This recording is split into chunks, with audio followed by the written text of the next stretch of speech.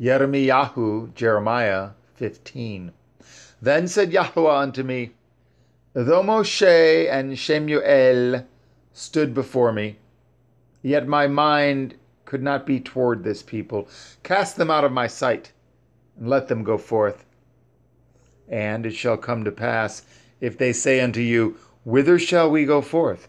Then you shall tell them, Thus says Yahweh, such as are for death, to death, and such as are for the sword, to the sword, and such as are for the famine, to the famine, and such as are for the captivity, to the captivity.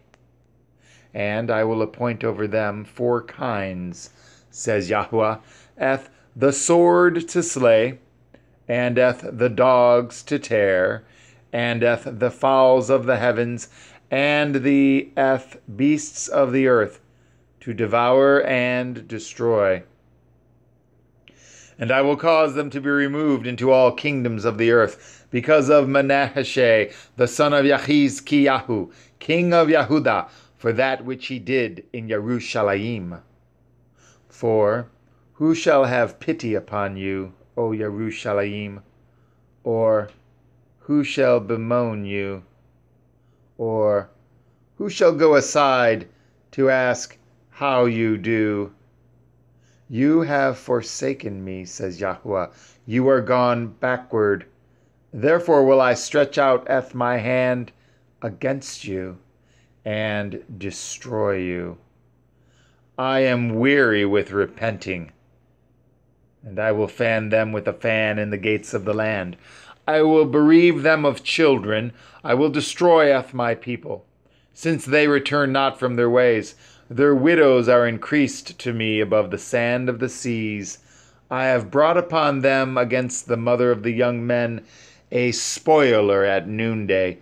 I have caused him to fall upon it suddenly, and terrors upon the city. She that has borne seven languishes, she has given up her ruach. Her sun is gone down while it was yet day.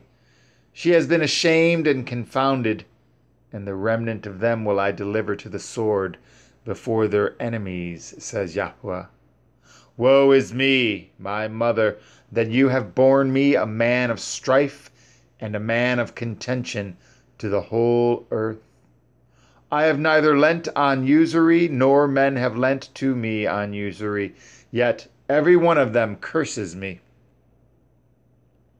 Yahweh said, Truly it shall be well with your remnant. Truly I will cause eth the enemy to entreat you well in the time of evil, and in the time of affliction. Shall iron break the northern iron and the steel? Your substance and your treasures will I give to the spoil without price, and that for all your sins, even in all your borders. And I will make you to pass passeth with your enemies into a land which you know not. For a fire is kindled in my anger, which shall burn upon you. O Yahweh, you know. Remember me and visit me, and revenge me of my persecutors. Take me not away in your long suffering. Know that for your sake I have suffered rebuke. Your words were found, and I did eat them, and your word was unto me the joy and rejoicing of my heart. For I am called by your name, O Yahweh Elohai Sevaoth.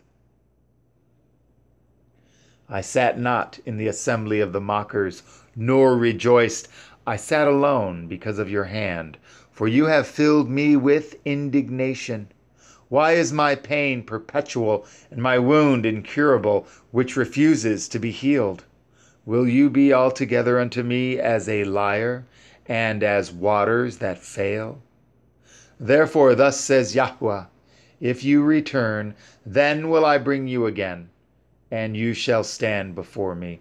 And if you take forth the precious from the vile, you shall be as my mouth. Let them return unto you, but return not you unto them. And I will make you unto this people a fenced brazen wall, and they shall fight against you, but they shall not prevail against you. For I am with you to save you and to deliver you, says Yahweh. And I will deliver you out of the hand of the wicked, and I will redeem you out of the hand of the terrible.